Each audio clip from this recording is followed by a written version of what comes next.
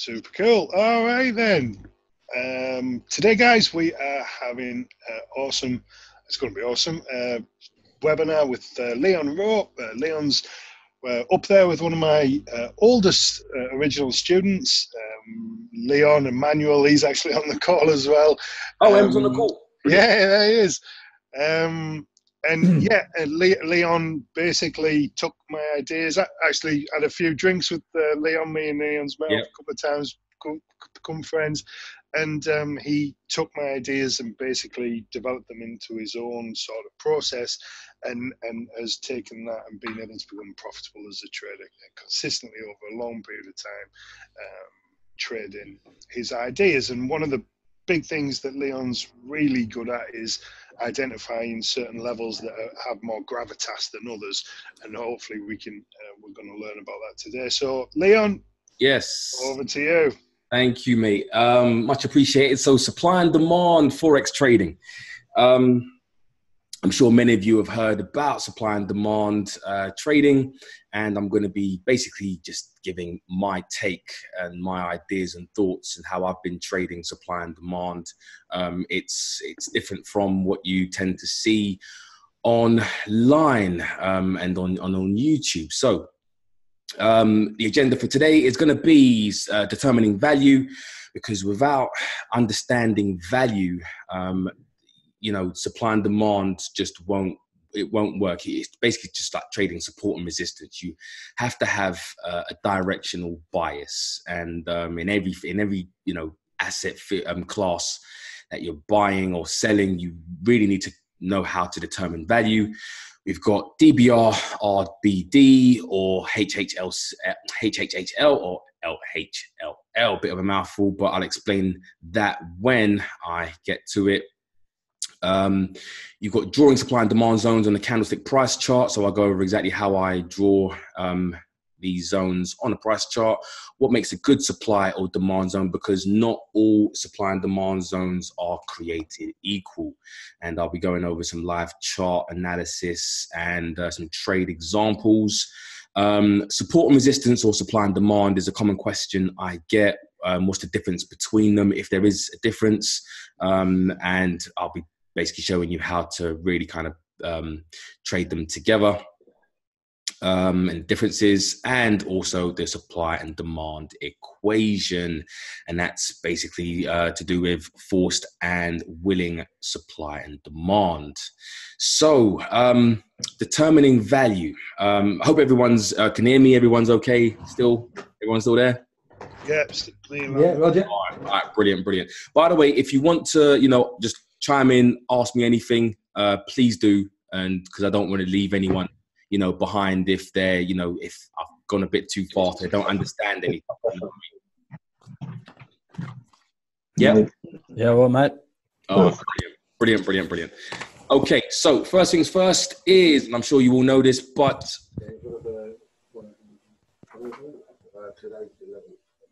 hello. Someone's got their microphone open. Do you want to just shut your mics, guys? Just mute. Yeah, mute it until maybe you're ready to, uh, you know, to ask a question. Yep.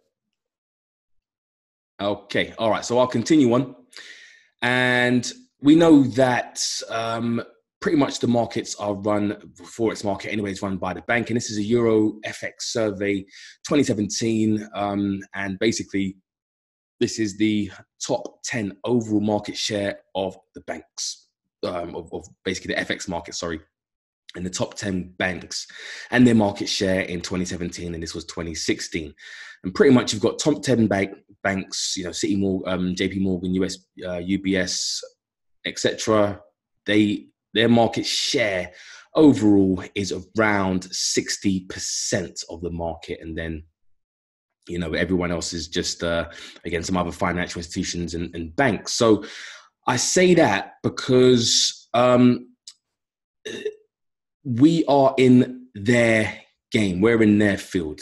Um, you know retail traders make up something like you know maybe six seven percent of the uh, the forex market even though it's a massive market it's something like four trillion, five trillion, or something like that. Um, and even if you know seven percent of that is still a lot of uh, money, but this is these are the guys that basically create the price on the price chart. So these guys aren't looking at you know uh, candlesticks and um, and uh, and certain levels. If you know, I mean, they are looking at certain price levels, but they're not looking at you know basically like price action. These guys are creating the price action. So what are they? What are these guys looking at? Right? If they're looking at making decisions on buying and selling, it can't just be technical patterns they're looking at. There's got to be something beyond the price chart that they're looking at if they're the ones creating the price action. So that leads us to fundamentals and really determining value and what the uh, financial institutions do through fundamentals. Well, in my opinion, there's three main uh, reasons for um, the. Hello, is everyone there? Hello. Hello, yeah, still here. Yeah. All right, no worries. Yeah, sorry. It's just that you know what happened on, on my screen. Like your name's just kind of dropped off the side of my screen, so I thought something had happened. No worries. So I'll continue in, in, in my opinion, there are three main reasons why the market moves. One is fundamentals um, and uh, and sentiment, which is basically value. Um, you've got risk sentiment, which is basically uh, where you have um, financial institutions and money will flow into safe haven assets like, for example, gold, government treasury bonds in uh, the forex world. It's uh, the japanese yen and the swiss franc. When risk is on basically meaning that uh, everything is all good with the world and uh, investors have got risk appetite and they want a bigger return they'll go into higher yielding assets um, and higher yielding currencies regarding interest rates. Um, and uh, that would be, for example, the dollar um, and commodity currencies like the Australian dollar, New Zealand dollar, Canadian dollar, etc right? And then you've also got liquidity, um, and liquidity is to do with stop hunting. If there's not enough, you know, buy or sell orders, the market will um, seek those orders, as we know. But um, when it comes to fundamentals and value, these are the main three things that we need to look at: is GDP and the business cycle. So financial institutions again will put their invest their money in a currency and in a country that is in the for example um, expansion or boom phase rather than uh, putting their money into a country that is going into uh, a contraction or recession or bust phase. Inflation and inflation targets central banks have got a 2% target and they really want to uh, get to that inflation prices target and the way that they can do that is via interest rates and the interest rate cycle. And uh, not to get into it too much, but if you do want to, um, you know, learn about any any of these, or if you want to touch up on your fundamentals and really how I trade the fundamentals, um, there's a link. Take a picture if you want, and uh, that's pretty much it. But fundamentals and determining value is what we need to do right when it comes to um, our directional bias and uh, buying strength versus weakness. Anyone got any questions or anything like that? Yeah, I have. So, so value. What you're saying is that mm-hmm. what, what, once you've got like your fundamental direction, uh-huh. but by understanding what central bank's doing with interest rates and uh-huh. where you're in the business cycle, you're essentially saying that that value would represent a, a, a, something cheap within within that context. Absolutely cheap. We're looking for cheap. We're looking for bargain prices. That's pretty much what we're looking for. We're looking for cheap and what and I kind of focus on what's a bargain prices. I try not to look at what is potentially expensive. It's easier for me to um, look at uh, what is a bargain price from GDP from inflation, well, from interest rates and inflation, etc. And what's really, you know, the value. That's what I'm. That's what I'm looking at. Right. So, so, so, how that would play out on a chart is, it would it would look like a bag of spanners as it's going down against against you know whatever currency, but mm-hmm. ultimate, but ultimately in the backdrop you have that broader understanding that this is yeah. this is actually you know this is an opportunity. This is not right. Uh, negative. So, so so for example, we would look at, for example, the, the, maybe the dollar yen, right, would be a, a, great example. Or any kind of risk off currency where um, it strengthens based off of um, basically just uh, some sort of uh, you know economic uncertainty, political uncertainty, um, you know, uh, or interest rate, say interest rate, but um, some um, uh, risk of sentiment basically. But if you're looking at it, looking at the Japanese yen from or, or for example, the Swiss franc economically and where they are in their interest rate cycle or where they are with, with regards to inflation targets, they're, they're, they're terrible. But risk sentiment or risk off sentiment, where uh, money will flow into um, the Swiss franc or the Japanese yen, making it stronger, what that does is it brings price to a certain level when you when you want to buy the dollar. And what I'll do is I'll probably explain it better on a price chart. Let's go to dollar, right? Risk sentiment was. Can everyone see my chart as well? Yep. Yep. So risk risk was off, so money was flowing into the Japanese yen. When risk when risk goes back on, the Japanese yen, if you're looking at it fundamentally, is basically worse than the uh, than than than the uh, the US dollar. So risk sentiment, what it does, and risk off sentiment will drive prices to where we want to be buyers of the US dollar because we know at this price level, right, when risk comes back on and when fundamentals are in play and when um, investors want a bigger return on their money. So, for example, the Japanese yen, their interest rates are like minus was it was minus 0.1 or something like that compared to the dollar where you're getting was it 2.5% where's the money going to go? This is an absolute bargain. Does that make sense? Yep. Yeah. It doesn't make if it makes if it doesn't make sense to someone just let me know. Yeah so ba- so basically imagine it just as, as like an individual. If you if you if you're on a high street and you Uh, you know, you've got an opportunity to put your money in two banks. One has an interest rate where they say we're going to take money off you for putting money into, into your Absolutely. account. Or you can put it over here on the other side of the high street and you can get 3% interest where you're going to put your money. Your money, that's exactly it. And that's risk on. You know, when risk is on, when the fundamentals are in play, you know, that's what you're seeing pretty much you know develop in the market. Risk sentiment and risk off sentiment drives prices to where we would want to be and can drive prices to where we want to be buyers and where a level is cheap right? And we'll go into this basically this this trade for example on the dollar yen um, a bit later as well. So fundament so so technically and fundamentally what we want to look at is business cycle inflation and interest rates and determine what is the uh, the stronger currency versus the weaker currency, and then look for, for example, if we're looking to buy the dollar, dollar yen, you'd be looking for just demand zones, and those would be areas of value. Make sense? Right. So you mm-hmm. actually you actually you you're having a bias and then you are only trading in that direction that's exactly at cheap prices right? yeah at cheap prices. And and technically i'm going to show you exactly why the areas of demand logically in my in my head you know and how i kind of figured out the levels um and uh, i'll show you that pretty much uh in um in a diagram as far as i'll draw it out for you guys. Leon?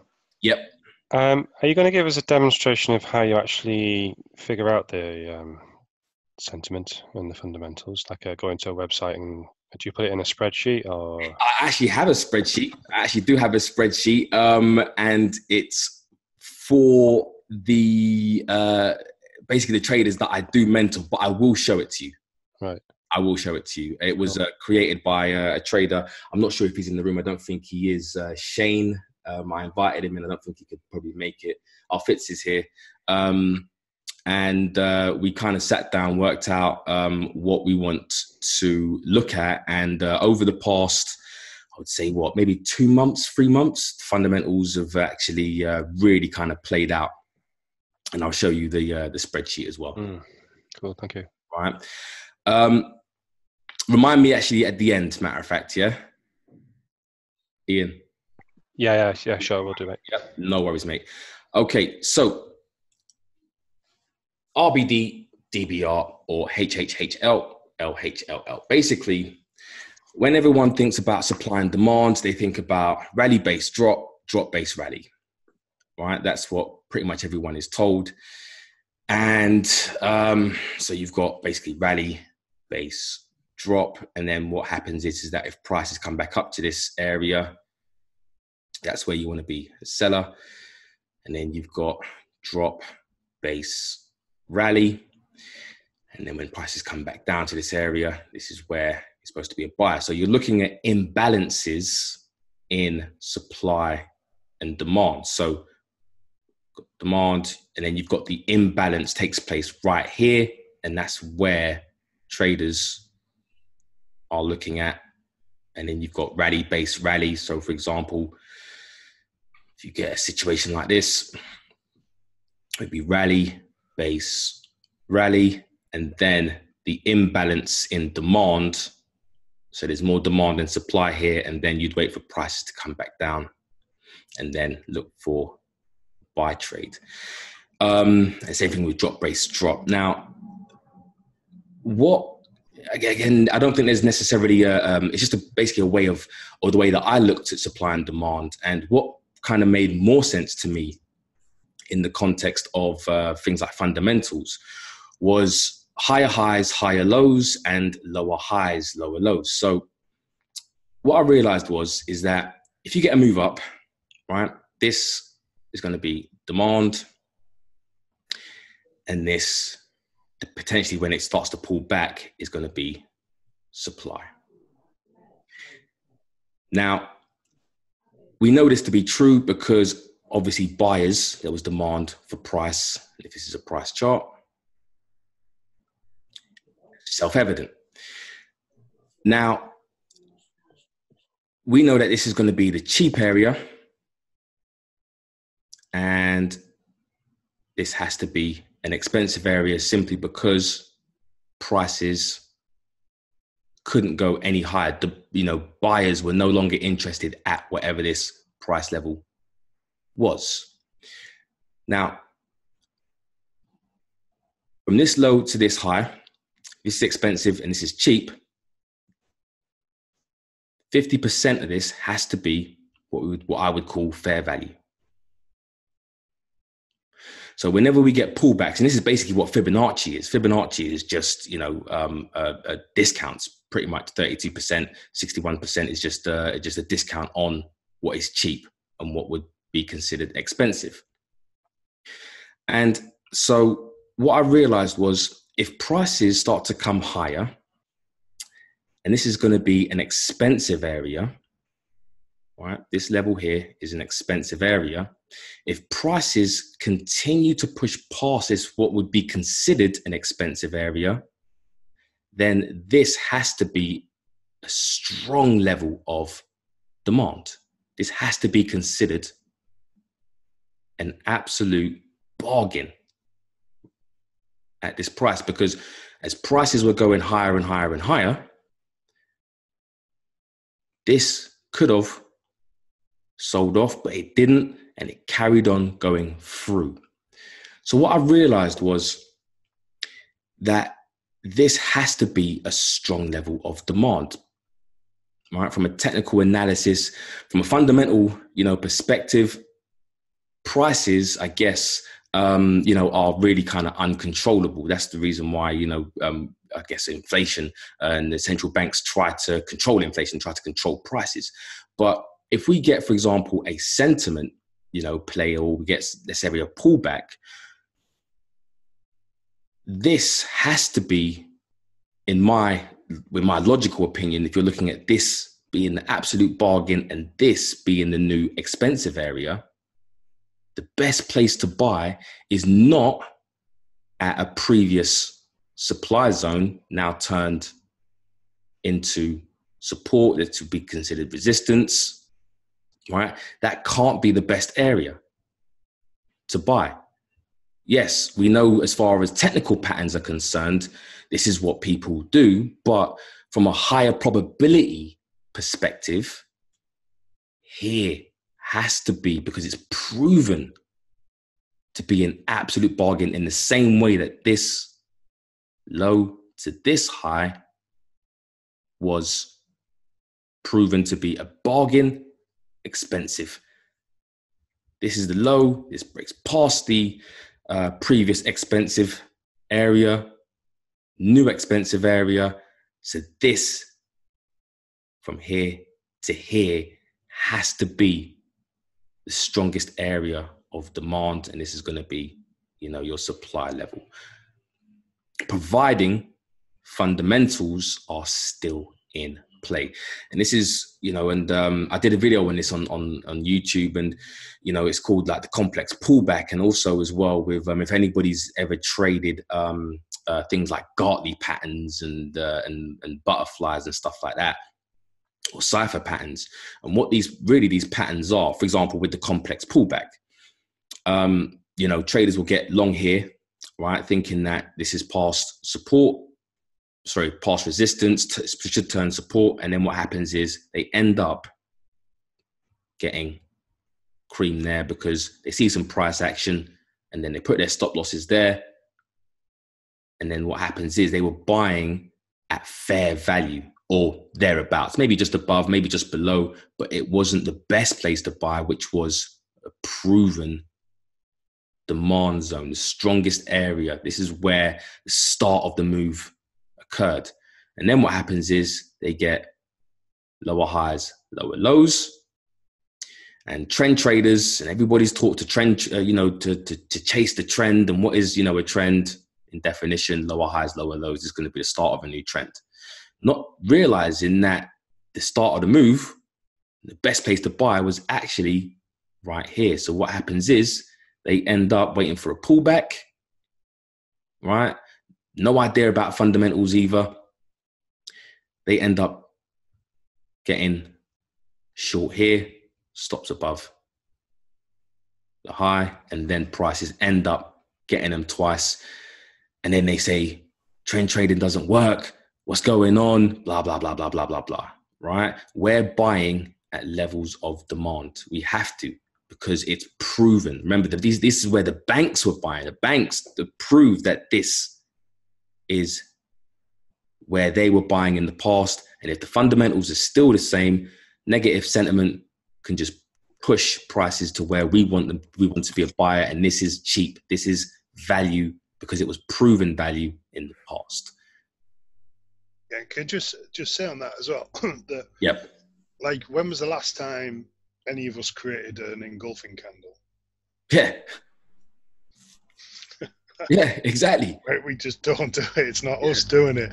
So whoever was in charge of moving that price from that level yeah. to it, yeah, exactly, to, to there is obviously uh, huge. That's exactly it, you know, and that's why I, I did the uh, the Euromoney because just to prove the point that it's like ten banks that run, you know, that have a sixty percent market share. They're the ones. They're not looking at. They're not looking at price action. Yeah, they're looking at something beyond the price? What is it that they're looking at? And it has to be, you know, things like fundamental sentiment, whatever it is, you know, that they look at as far as liquidity and that. And then this is where we want to be buyers. And traders who trade, for example, you know, Gartley patterns and the, you know that X to A, A to B leg, and then they, you know, they draw that pattern there, and then it's the A B to C, C to D, and it usually ends around here, they're just buying into a demand zone. There's no reason, there's no logical reason for, you know, these Fibonacci patterns. It's got to hit this and it's got to hit that. It's just when prices come down to this demand zone, all they're taking advantage of is what would be known as the X leg, which is the strongest area of demand proven. In the same way that if this is supply now. That is supply. This has to be an expensive area, right? So when prices come up to here, it's proven to be expensive because there are no buyers anymore. Again, obviously, depending on fundamentals, etc. But if we were looking to get short on this and we were waiting for prices to come back up, right? It's proven that this is an expensive area, or for example, a cheap area for for the for the uh, for the quote currency. You know, um, and this is where we would want to buy the quote currency because we know that this was an absolute bargain. Prices fell away. Something must have changed, maybe sentiment wise or fundamental wise. When prices come back up here, this is where we want to be sellers because it's proven to be an expensive or you know in the case of you know forex i try not to look at anything being expensive but just this is a cheap level for the uh, for the quote currency. Everyone follow along? Yeah cheers mate. Makes sense? Yeah is, super is, interesting are you um going off the daily chart with this? Is this what's meant to be on? Sorry? Is this meant to be the daily chart this yes level? yes. Yeah. so i look at exactly i look at i look at daily levels. I definitely look at daily levels. So I'm looking for proof of value, right? Proof of value is always in my mind when I'm looking at, you know, demand and supply zones. And again, with, with rally based drop, drop based rally, the emphasis is more on just looking for imbalances in supply and demand. I'm looking for proof of value. And higher highs and higher lows are proof of value. Expensive, prices break through. This is going to be the demand zone. That's going to be the demand zone. All right. Prices don't break through now. In fact, if prices fail to go higher, then yes, there is demand here, but is it a strong level of demand? can that be considered a strong level of demand if it can't push past the uh, the expensive level? It's a decent level of demand, but you want the best areas of demand.